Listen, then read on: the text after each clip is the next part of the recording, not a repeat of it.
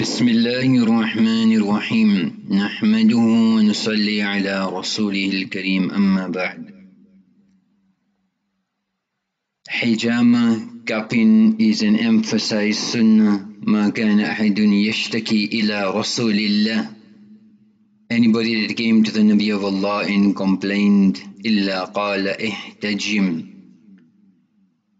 Utilize the process of hijama cupping إن أفضل ما تداويتم به الحجامة amongst the most virtuous forms of cure and shifa is in cupping خير يوم تحتجمون فيه then the best of days which you should do it is the 17th, 19th, 21st وما مررت بملأ من الملائكة when I went for Mi'raj every angel that I pass إلا قالوا عليك بالحجامة يا محمد أو محمد hold steadfast unto حجامة الشفاء في ثلاثة شفاء is in three one is in honey and second is the blade of the حجام the blade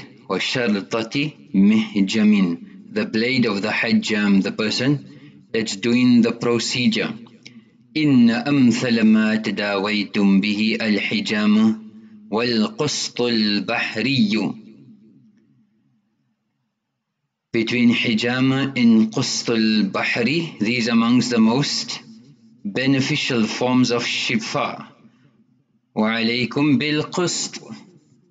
Gee, let us do some research about qust al-bahri which is available now recently through the barakah and fikr of some ulama to revive the sunnah. خير الدواء الحجامة amongst the best of cures and remedies is hijama. ما زال جبريل يوصيني بالحجم Jibril alayhi salam continued to emphasize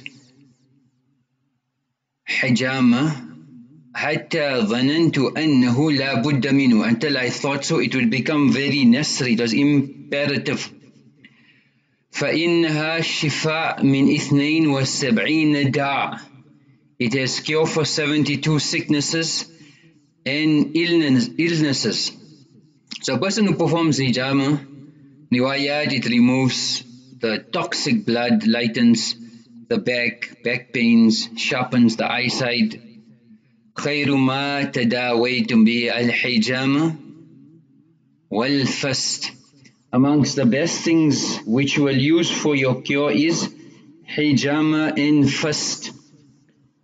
So Jabir ibn Abdullah radiallahu anh visited Al-Muqanna and he said that I will not leave until he is treated for cupping. For I heard Nabi alayhi salam say, there is a shifa, a cure in it. Now Hijama and fasd are two different processes. Hijama is the common cupping where you have the cupping cups and fasd is phlebotomy. So Ibn Qayyim has explained that hijama cupping purifies the external body and phlebotomy is beneficial for the deeper parts of the body. And uh, Cupping is more safer than phlebotomy, especially in, in younger people. And a person who's strong, then they can do phlebotomy. And it is good for heart diseases which stem from the congestion of the blood, high blood pressure, heart, lung disease. And in today's times, we can ask the muftiya on giving blood, but the person who gives blood, it is as if it is phlebotomy because you're removing blood from the external internal system and cupping is from the external where the toxins collect in your body that removes that layer of toxins. So when we do cupping also we have to be very careful. We go to the professionals, the experts who have experience, especially an ill person who is doing treatment. أهلك العالم أربع. They say the dunya, the world, will be destroyed by four types of people. Nisf Hakim, an incomplete ruler, a, a incompetent ruler. Wa Nisfu Faqih, and a half scholar. Wa Nisfu Nahwi, and a half linguist. Wa Nisfu Tabib, and an incompetent, half a doctor. Why? Because a incompetent ruler, yufsidul buldan, the country will be wiped out. And a Hafiz scholar, yufsidul adyan, he will wipe out your deen. وَنِصْفُ نَحْوِي يُفْسِدُ اللِّسَانِ And a linguist will wipe out your language. And a doctor who is incompetent yufsidul abdan. He will destroy your body destroy your health.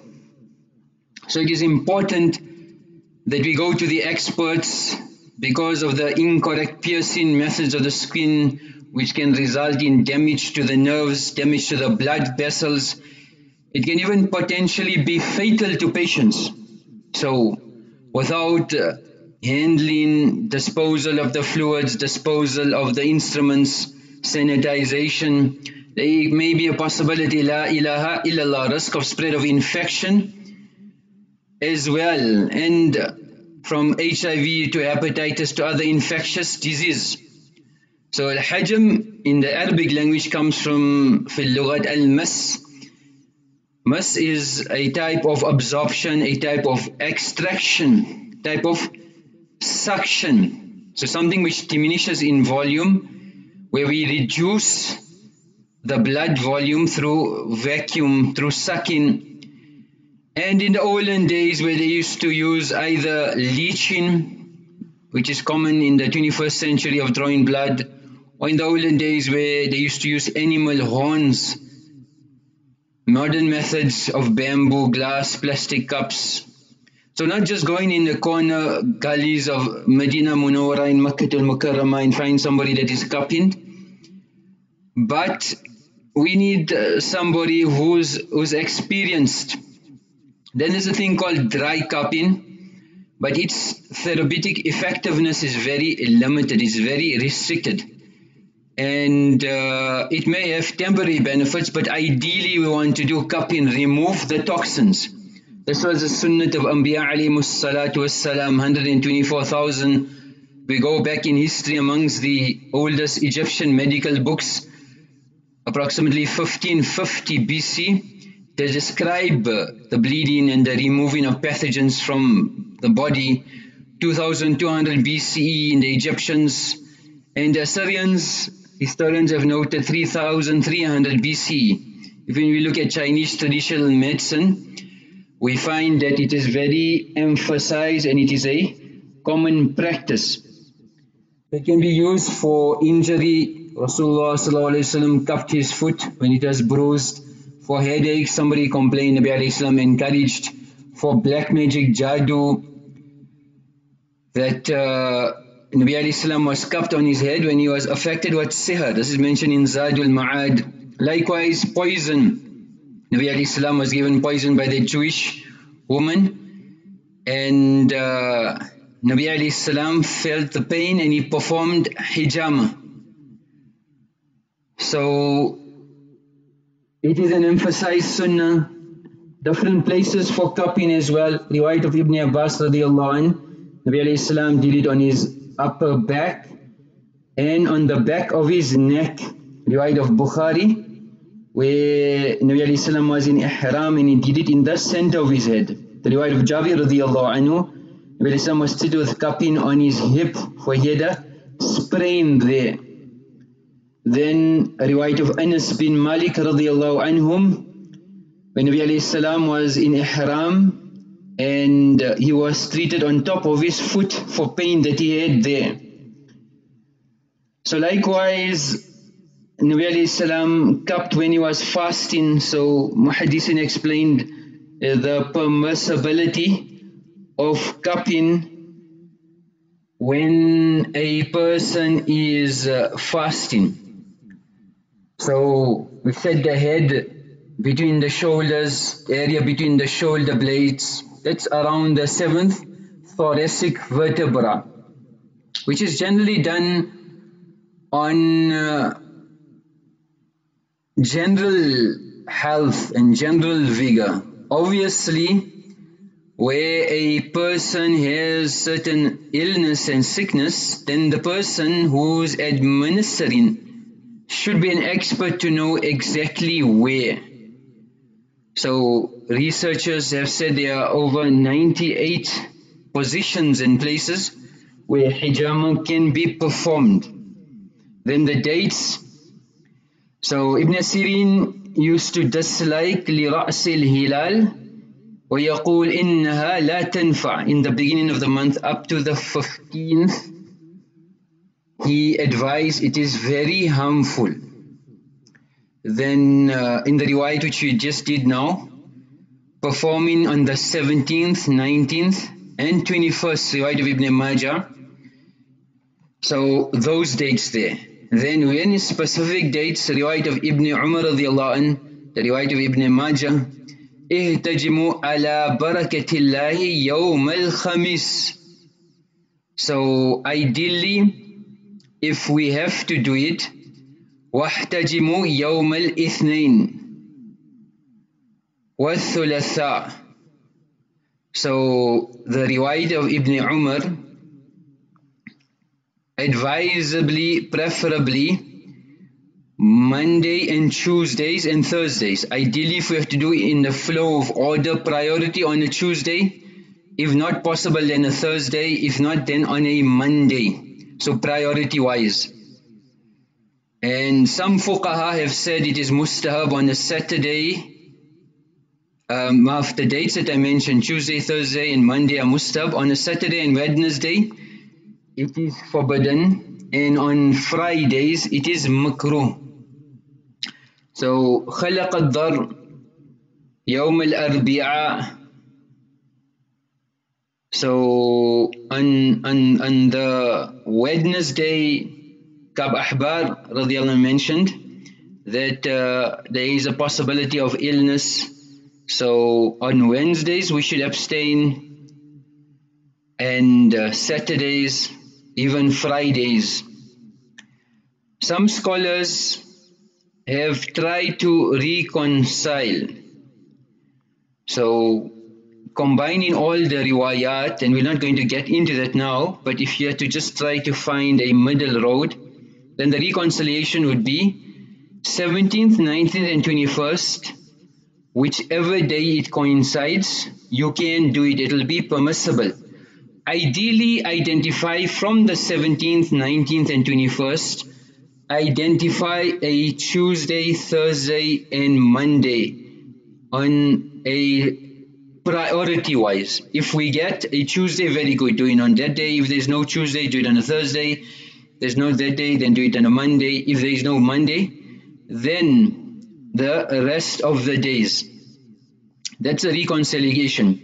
Some ulama, other ulama have said that uh, with regards to these dates, since the riwayat are the narrations, the chain of narrators are weak, Hafiz ibn Hajar Asqalani in his Fathul Bari has mentioned, ولكون هذه الأحاديث لم يصح منها شيء since we have not found any narration which is credit-worthy or credible we will not go by the opinion of choosing specific dates.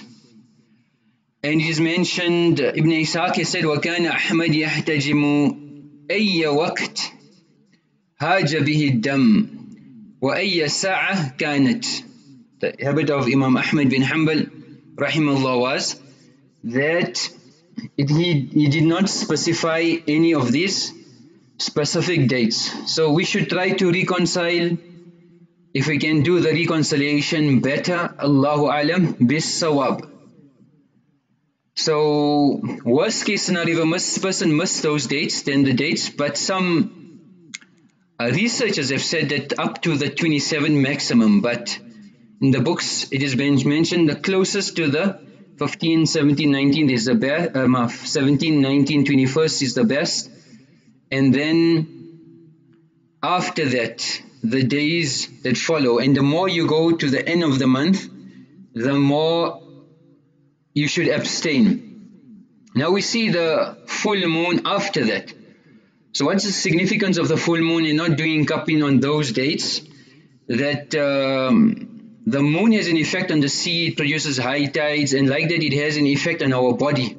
So you even see the term lunatic is de de derived from the word luna because the moon has an effect on our behavior. And that's why we encourage to fast on these dates here, 13th, 14th and 15th is fasting dates and it, it synchronizes, it looks like it's systematic and Allah's system is perfect. So when there is a full moon, there is a lot of energy, rise of anger, flare tempers. People have conditions of epilepsy, migraines, high blood pressure. That increases dramatically. Then studies have shown that there's more assaults during a full moon, more crime, more animal bites, uh, fertility, menstruation, birth rate, melatonin levels are influenced. Admittance into hospitals and the emergence are caused more. So traffic accidents, crime, suicides are more common during a full moon. Then it's another topic on its own, but the Satanists, the people of Jadoo and black magic thrive and they have rituals during the full moon. Likewise also if you go and speak to the people who do amaliyat also they will tell you that the moon has an impact. So on a specific date, specific time when a certain ta'awiz, amulet is written, it will have an effect as well. The time when we should do it ideally in the early part of the morning before probably 10 a.m. while the blood is still settled and the body circulation hasn't gone to a more advanced level. Once a person starts his body activities and he starts eating, then the digestive system, the internal organs are in motion. So try to do it in the early part of the morning and uh, a person after doing the hijama, you should make sure that it's disinfected. Um, a person should preferably not go to sleep because of a possibility of blood clots de developing. And uh, after hijama we are recommended to eat healthy foods proteins body fluids rehydrate stay away from caffeine sugary drinks. A person should avoid showering immediately after cupping as well and Ibn al-Qayyim has mentioned that uh, after a person baths, he shouldn't cup. So prior to cupping, we shouldn't have a ghusl. Cupping is better in summer than winter. A person who is not afraid or he's feeling very cold, he shouldn't cup according to Qayyim. Why? Because the blood does not surface. And he says that it differs according to the time, people, place, climate, ages and physical condition. So people who want to cup also should not cup on a full stomach. So person who's eating a full breakfast, this is against the principle of hijama because the digestive organs get engaged and busy and blood is removed from those areas which you are going to cup as well. So you wouldn't, would not take maximum benefit. So it's advisable a patient should have an empty stomach and uh, when the toxins collect at night and in the morning when, when we have a meal, um, that affects the process. Likewise, a, a, person who is in excess of perspiration, as it is said, do not bleed the one who is sweating and do not sweat the one who is bleeding. So the adverse effects of that as well. Then uh, Normally a person can give sadaqah, do some amal, make dua, turn to Allah subhanahu wa ta'ala before the procedure, Ya Allah, make it that uh, the process is successful, etc, etc. There are a lot of benefits of cupping. It uh, helps in hypertension, blood pressure. So a person who has high blood pressure, etc. A person who is feeling weak, it gives him strength. Um, then a person who has abnormal ECG readings, ECG patterns, a Syrian Hijama Institute had done research. Then a person who has abnormal RBC count, HB, thrombocytes, person who has cholesterol and triglycerides, 75% of patients who had high levels, it neutralized any person who has blood glucose levels, uh, glucose, etc., people who are diabetic. 92.5% in the study showed a reduction. Uric acid abnormal, a person who has pain, gynecological disorders, infertility, dermatological skin disorders, eczema, dermatitis, neurological disorders, stroke, spinal cord injury, certain types of epilepsy, gastrointestinal disorders, whether it's inflammation, gastritis, nausea, vomiting, hemophilia, um, anemia. So these two conditions we have to be very careful also not to do cupping because it's a genetic disorder and uh, we have to know the patient as well. A person who's anemic as well shouldn't be. Uh, somebody who's pregnant as well shouldn't be. So there are much benefits for this great amal. We should just have yaqeen in the words of Allah and His Rasul and not in the knowledge of the people of the world which is limited, restricted based on trial, error, flaws and uh, restricted. The amal for today was also the daytime will come where a person will not be protected illa man haraba bidinihi except the person who runs for his deen to the mountains from one den to another to protect himself from all the fitness. آخر دعوانا أن الحمد لله رب العالمين